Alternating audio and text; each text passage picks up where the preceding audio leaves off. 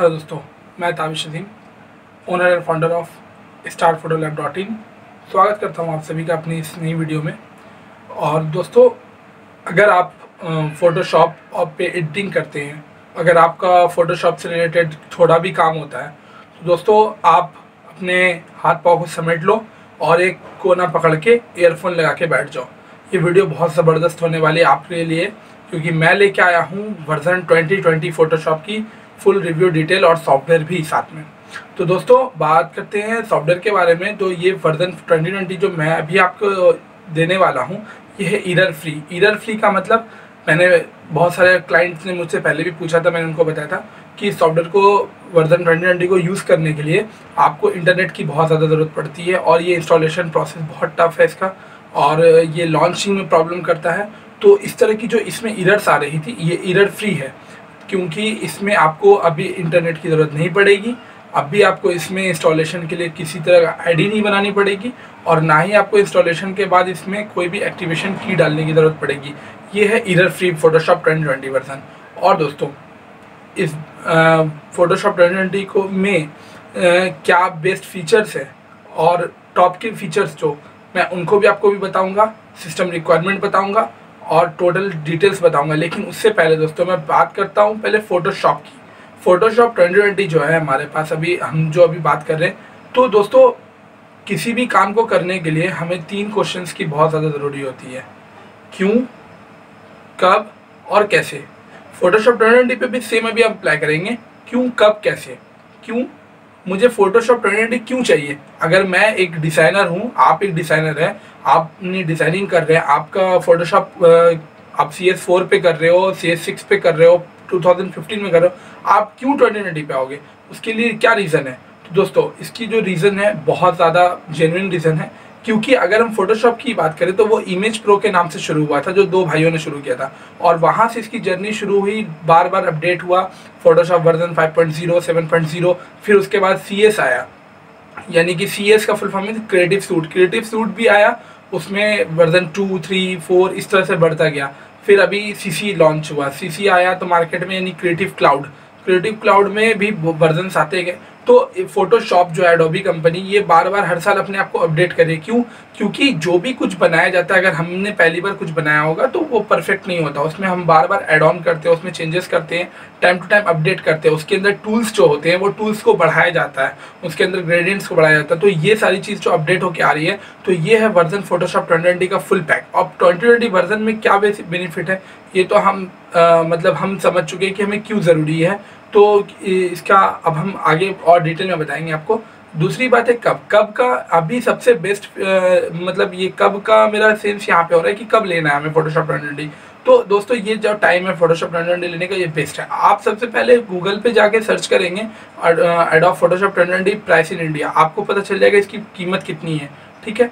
मैं cheap rate पे crack version software और बहुत सारे सॉफ्टवेयर जुगाड़ आपके लिए लाता हूँ, क्योंकि आप फोटोशॉप के जो यूज़र्स हैं, आप अफोर्ड नहीं करते। आप उस कैटेगरी में नहीं आते कि आप मतलब license Photoshop license Windows use करेंगे। पर आपको भी यूज़ करना है, आपको भी सीखना है तो आपके लिए मैं जुगाड़ लेके आया हूँ। तो दोस्तों, मैं जो जिस प्राइस पे सेल कर रहा था, मैं फाइव हंड्रेड रुपीज़ में कर रहा था, मैंने फिफ्टी रुपीज़ में उसको कर दिया। मतलब नाइन्टी परसेंट मैंने डिस्काउंट खुद कर दिया। है क्यों? क्योंकि अभी कोविड नाइन्टीन है, ठीक है? दोस्त, अभी हम लोग सब लोग घर पे बैठे हैं और हम लोग अगर डिज़ाइनर हैं, मान लो, अगर आप डिज़ाइनर हैं या आपके घर पे कोई भी डिज़ाइनर या डिज़ाइनिंग सीखना चाहता है, ठीक है दोस्तों? क्योंकि ये बहुत अच्छा करियर ऑप्शन भी बन के आ रहा है, क्योंकि अभी जितने चीज़ आप अपने आँखों से देख रहे हैं, वो सब कुछ एक डिज़ाइन ही है, ठीक है? आप किसी शॉप पे जाते हैं, आपके शॉप पे, उसके दुकान पे जितना डब्बा रखा हुआ है पोस्टर लगे हुए सब एक डिज़ाइन ही तो है। अगर आप अभी गूगल्स पे ऐड देखते हैं तो वो भी एक डिज़ाइन है। आप जो भी देख रहे हैं, वो एक, ना एक डिज़ाइन है। तो डिज़ाइनिंग में करियर ऑप्शन है। तो अभी अगर हम लोग वो सॉफ्टवेयर परचेज करते हैं या हम लोग अभी डिज़ाइनिंग करते हैं, क्योंकि अभी लॉकडाउन पीरियड चल रहा है, अभी अगर लॉकडाउन टूटता भी तो अभी इतना जल्दी और मतलब हम लोग गैदरिंग वाला काम नहीं कर सकते। तो इसके लिए अभी का जो टाइम है फोटोशॉप को परचेज करने का और यूज़ करने का, ये सबसे one of the best time है। तो इसलिए एक तो अभी हमारा सीखने का टाइम है, दूसरा मैं अभी डिस्काउंट पे दे रहा हूँ। पर दोस्तों सिर्फ़ हंड्रेड लकी कस्टमर्स को ये डिस्काउंट प्राइस पे मिलेगा जो फ़र्स्ट रिएक्ट करेंगे हमारे साथ। उसके बाद मैं नहीं दूँगा इस प्राइस पे, क्योंकि मैंने भी ऑफ़र लिमिटेड रखा है। और ये चाहे एक दिन में ख़त्म हो जाए, चाहे दो दिन में। तो ये हमारा दो क्वेश्चन सॉल्व हो गया, क्यों और कब? कि अब कब लेना है? अगर अभी नहीं तो आप समझ लो कभी नहीं। ठीक है? अब हम लोग चलते तीसरे क्वेश्चन की तरफ़, कि कैसे? अब आपको ये मिलेगा कैसे? इसके लिए मैं डिस्क्रिप्शन में लिंक दे रहा हूँ। आप डाउनलोड करेंगे, उसके बाद आप मुझे इस गूगल पे पे क्यू आर कोड स्कैन करके या कॉन्टैक्ट नंबर पे पेमेंट करके मुझे व्हाट्सएप शेयर करेंगे, मैं आपको उसका पासवर्ड दे दूँगा, आप उसको इंस्टॉल करेंगे और इतना इजी प्रोसेस में इंस्टॉल होगा कि आप मतलब बस डबल क्लिक करेंगे और इंस्टॉल हो जाएगा। ठीक है दोस्तों, अब बात करते हैं, ये तीन क्वेश्चन तो हमारे क्लियर हो गए कि हमें फोटोशॉप मिल गया। अब हम लोग बात करना चाहते हैं कि फोटोशॉप हमारा किस किस कंप्यूटर पे चलेगा। तो उसके लिए कुछ हमारे पास जो है अपडेट्स हैं, जो मैं बताना चाहूँगा, आपसे शेयर करना चाहता हूँ कि क्योंकि सिस्टम रिक्वायरमेंट होना जो है वो बहुत ज़रूरी है।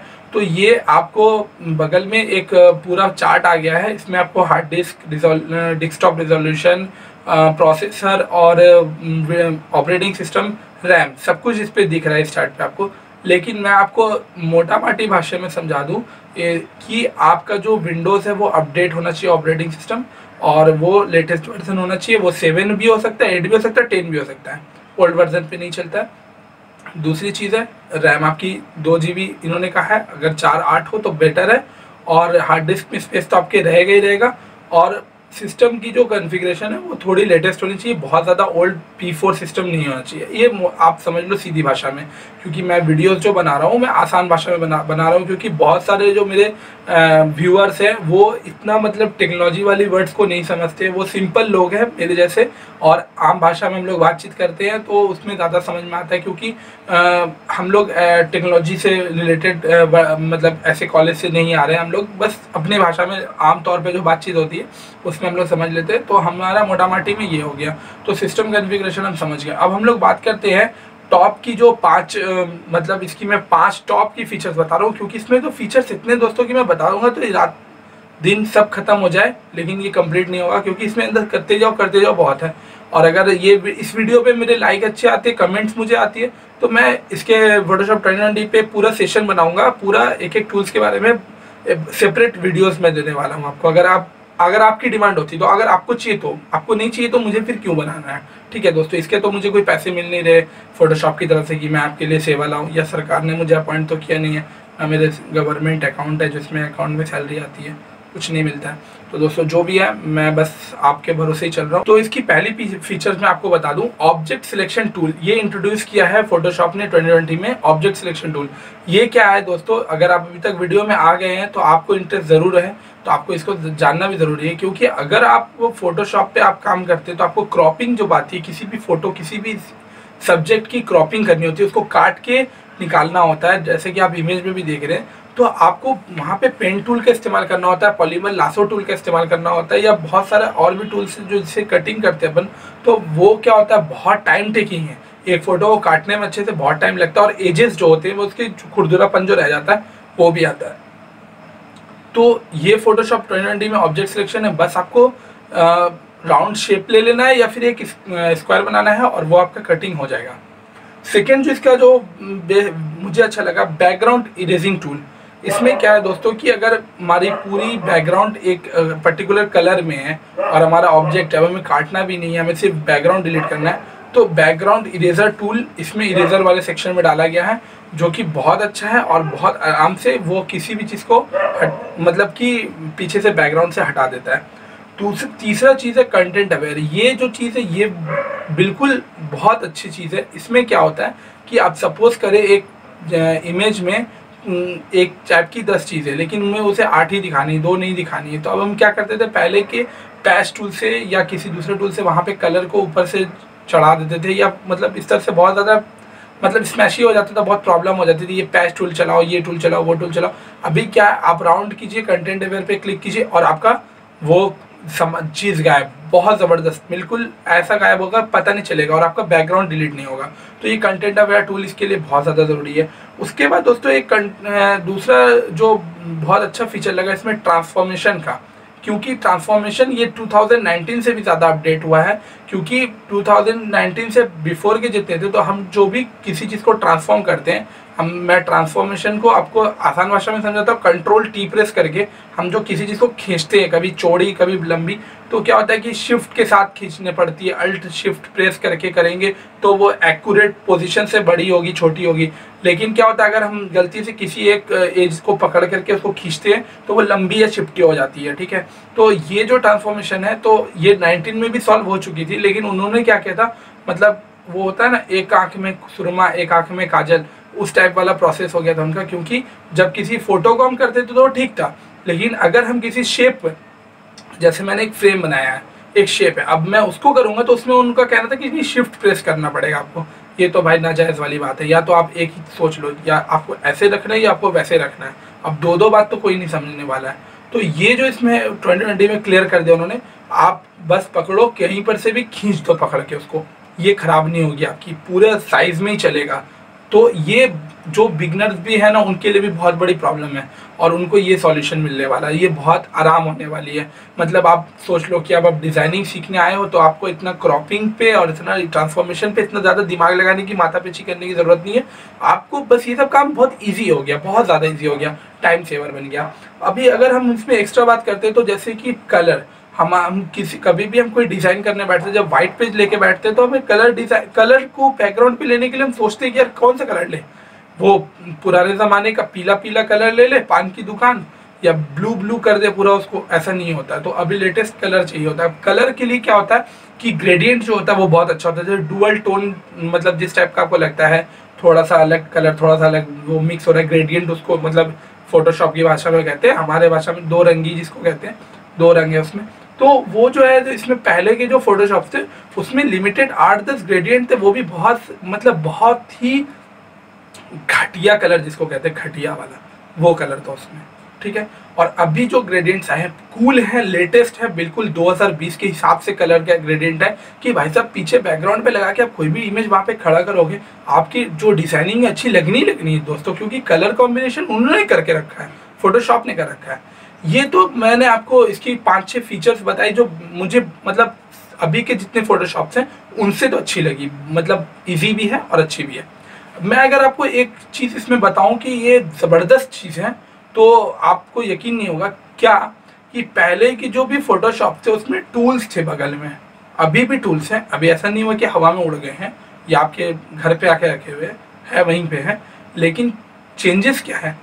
कौन सा टूल भाई साहब क्या काम करता है, ये हमें नहीं पता है, ठीक है? अब सपोज़ कि आपको पता ही नहीं कि आपको प्याज छुरी से काटना है या चम्मच से काटना है, ठीक है? तो अभी जो, अभी टूल्स का जो सेक्शन है, उसमें क्या होगा कि आपका माउस सिर्फ़ उस टूल के ऊपर आपको रखना है, ठीक है? और ऑटोमेटिक उसकी एक वीडियो चलने लगेगी। मतलब आपको ये टूल क्या काम करके देगा, ये भी वो बताएँगे कि आपको बस सिर्फ़ वहाँ पे रखना है और आपका वो काम होना शुरू हो जाए। अगर आपको ये वीडियो अच्छी लगी है तो लाइक कर दीजिए, अपने किसी जानने वाले को शेयर कर दीजिए। सब्सक्राइब करके बेल आइकॉन दबाना ना भूलिए, क्योंकि मैं ऐसी वीडियो बनाता रहूँगा और आप तक इन्फॉर्मेशन तभी पहुँचेगी। सब्सक्रिप्शन कर पे कोई चार्जेस नहीं है दोस्तों। आपको वो रेड वाला बटन सब्सक्राइब दाबना है और बेल आइकॉन पे क्लिक करना है। दूसरी बात दोस्तों कि अगर आपको इस वीडियो में कुछ भी और पूछना है और आपको कुछ नई चीज़ पे वीडियो चाहिए तो कमेंट सेक्शन है नीचे। आप यहाँ पे कमेंट करो और कमेंट करके बताओ कि आपको क्या चाहिए इसमें, क्या सीखना है, क्या पूछना है। मैं आपको कमेंट पे रिप्लाई करूँगा। मतलब डायरेक्टली हर बात के लिए मतलब मुझे कॉल ही मत कर देना, ठीक है? इसलिए मैं कह रहा हूँ। और तब तक के लिए खुश रहें, सुरक्षित रहें, घर पे रहें।